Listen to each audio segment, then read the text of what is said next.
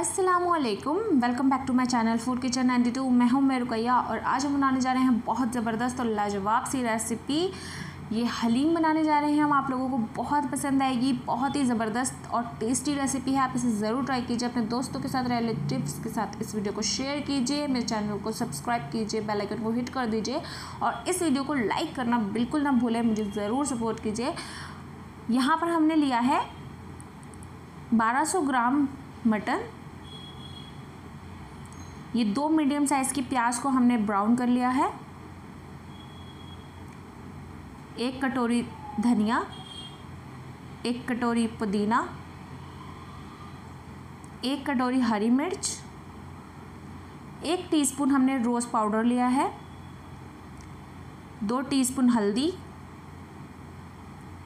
दो टीस्पून हमने लाल मिर्च पाउडर लिया है, दो टीस्पून नमक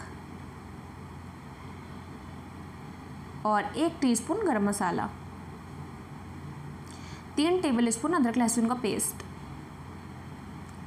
यहाँ पर हमने ऑयल गरम कर लिया है और जितने भी मैंने मसाले दिखाए थे, हरी मिर्च पुदीना, धनिया, लाल मिर्च पाउडर, रोज़ पाउडर, नमक जो भी था, वो सारा मिक्स मैंने गोश्त पे लगा दिया था और उसे बस पाँच दस मिनट के लिए ऐसे ही रख दिया जब तक ऑयल गर्म हुआ हमारा और उसके बाद मैंने ऑयल गर्म होते हुए सारी चीज़ को इसके अंदर डाल दिया है।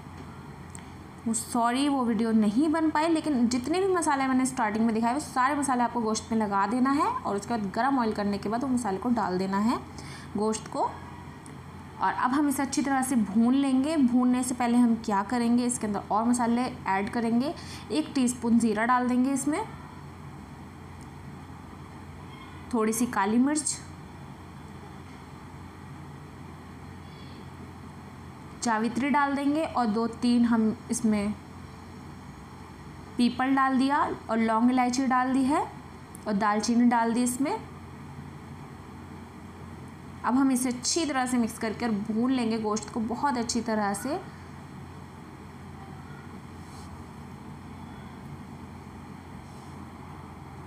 ये देखिए, गोश्त को हमने अच्छी तरह से भून लिया, बहुत अच्छा ऑयल आ गया था इसके ऊपर।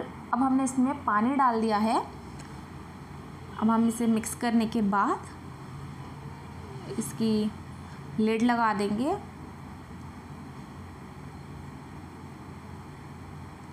ये देखिए लेड लगाने के बाद हम इसे तीन सीटी तक पकने देंगे। जब तक गोश्त गल रहा है, हम ग्रेवी के लिए सामान तैयार कर लेते हैं। यहाँ पर हमने 120 ग्राम गेहूँ लिया था और उसको हमने भिगा दिया है। दो घंटे से पानी में भिगा हुआ है, अच्छी तरह से वॉश करने के बाद। एक मुट्ठी हमने मसूर दाल ली है, एक मुट्ठी हमने चना दाल ली है एक मुट्ठी मूंग की दाल,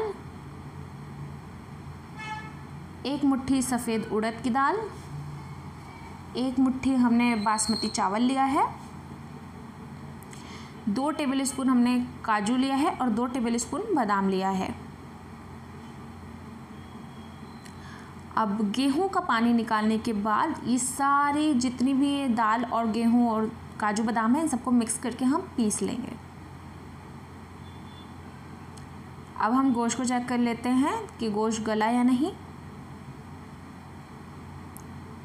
और ये रेसिपी मेरे भाई बना रहे हैं तो इसलिए अगर आप हाथ को देख के कन्फ्यूज़ हो रहे हैं कि मेरा हाथ ऐसे कैसे हो गया है तो कन्फ्यूज़ ना हो। मेरे भाई बना रहे हैं वॉइस ओवर मैं दे रही हूँ।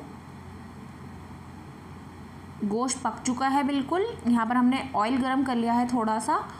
और उसमें ये जो दाल और गेहूँ, काजू बादाम पिसा था, वो हमने डाल दिया और फटाफट इसे डालने के बाद इसमें मैं पानी ऐड कर दूँगी और उसे चला लूँगी फिर। जल्दी जल्दी आपको चलाना है या ऐसा करिए, आप ऑयल गर्म मत कीजिए। रिफाइंड ऑयल ले रहे हैं तो आप गेहूँ और ये सारे मसाले डालने के बाद, पानी डालने के बाद आप इसे अच्छी तरह से चला लीजिए, जिससे ये जले नहीं, क्योंकि गेहूँ बहुत जल्दी तली में लगता है। मैंने लो फ्लेम कर दी थी मतलब भाई ने। उसके बाद हम इसे चला रहे हैं। बिल्कुल अच्छी तरह से इसे मिक्स कर लेना है। बिल्कुल लम्ब्स फ्री रहना चाहिए। ये देखिए, और इसे भूनते भूनते तकरीबन पंद्रह से बीस मिनट हो गए हैं।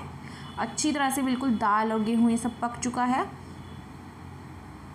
ये देखिए, और मैं लगातार इसे भाई ने चलाया था। अब इसमें गोश्त डाल देंगे। जो हमने पकाया था, वो गोश्त डाल देना है इसमें। ये देखिए। सारा गोश्त डाल दिया है।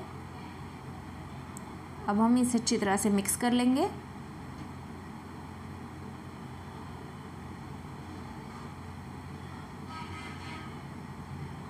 अच्छी तरह से मिक्स करने के बाद कुकर में जो मसाला लगा था, उसी में थोड़ा सा पानी डालने का था हमने इसमें पानी भी ऐड कर दिया है। एक गिलास बड़ा वाला समझ लो, उतना ही डाला है बस। अब इसके बाद जो हमने ब्राउन प्याज दिखाई थी स्टार्टिंग में, वो हम इसमें डाल देंगे।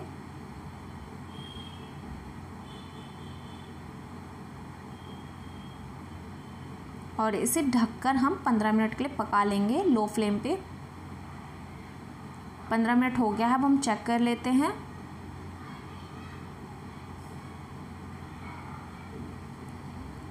ये देखिए, बहुत अच्छी थिक हो गई है, हलीम बहुत ही ज़बरदस्त पकी है। पंद्रह से बीस मिनट के लिए हमने इसे पकाया था। अगर जितनी आपको थिक रखनी है, आप उतनी ही इसे पकाइए। दाल को और गेहूँ को हमने बाद शुरू में भी पकाया था, पंद्रह से बीस मिनट लगातार चलाया था। अभी हलीम बन के बिल्कुल रेडी है। अब हम इसे डिश आउट कर लेते हैं। ये देखिए, हमने हलीम को डिश आउट कर लिया है। अब आप ये सोच रहे होंगे, ये बिरयानी कहाँ से है तो हमारे घर में ज़्यादातर लोग बिरयानी, हलीम बिरयानी खाना पसंद करते हैं। साथ में इसका कॉम्बिनेशन अच्छा लगता है। और यहाँ पर देखिए, मैंने थोड़ी सी प्याज ब्राउन की थी और उसका ऑयल भी हमने इसमें ले लिया है, क्योंकि हलीम के ऊपर हमेशा ब्राउन प्याज और उसके साथ ऑयल डलता है। कच्ची प्याज भी आप डाल सकते हैं, वो एक्स्ट्रा अलग से डाल सकते हैं आप इसको, लेकिन ब्राउन प्याज और ऑयल डल के बहुत ही टेस्टी लगता है। तो आप अलग से ऑयल गरम कीजिए, इसमें ब्राउन प्याज को ब्राउन कर लीजिए और वो ऑयल के साथ ही इसको डालिए। मतलब प्याज भी डालिए और ऑयल भी डालिए तो बहुत टेस्टी लगता है। और इसके ऊपर चाट मसाला डाल दीजिए हलीम के ऊपर और हरी मिर्चें बारीक काट लिख के डाल लीजिए और नींबू डाल के। बहुत ही ज़बरदस्त सी हलीम लगेगी आपको खाने में। ये देखिए, मैंने हरी मिर्च भी डाल दी, नींबू भी लगा दिया है। और अब मैं बिरयानी पर ही हलीम डाल दूँगी। और अगर आपको खिचड़ा बनाना है तो उसकी रेसिपी मैं डिस्क्रिप्शन बॉक्स में दे दूँगी कि खिचड़ा कैसे बनता है। और ये जो बिरयानी मैंने इसके साथ सर्व किया है, ये मुरादाबादी बिरयानी सर्व किया है, इसका भी लिंक मैं डिस्क्रिप्शन बॉक्स में दे दूँगी। तो आप वो ज़रूर चेक कर लीजिए कि मुरादाबादी बिरयानी कैसे बनी है। अगली रेसिपी में मिलते हैं। जब तक के लिए अल्लाह हाफिज़। आई होप आपको भी ये रेसिपी